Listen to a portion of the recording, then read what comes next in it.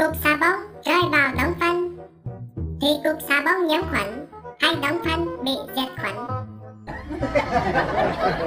Lọ lem đi giày thủy tinh sai bao nhiêu? Mà cả vương quốc đều thử không vừa. Khi mày đang cầm máy khoan và chuẩn bị khoan, Bố mày đứng bên cạnh nói, Khoan! Thì mày khoan hay không khoan? Thắng và bại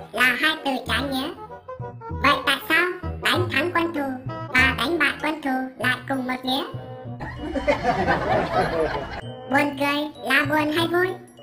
Buồn cười với vui cười, cái nào vui hơn, cái nào buồn hơn? tại sao gọi là nhà nghỉ? Trong khi mọi người vào trong đó để làm việc. ngủ và thức là hai từ trái nghĩa, nhưng ngủ dậy và thức dậy lại là hai từ đồng nghĩa người ta nói tối lửa tắt đèn có nhau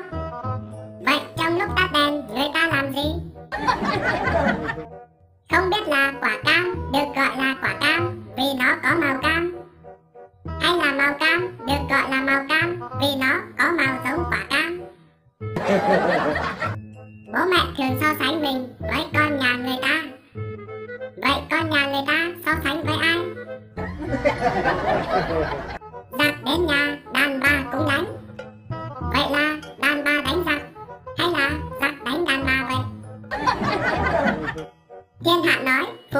là đi làm hờ.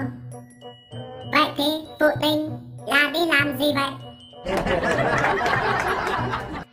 Có câu, trời đánh tránh bữa ăn. Thế con muối đang ăn thì không được đánh nó, phải không? Sinh nhật của con chim thì được tính ngày quả trứng được sinh ra hay tính ngày trứng nở đề bài trắc nghiệm, hãy chọn câu sai.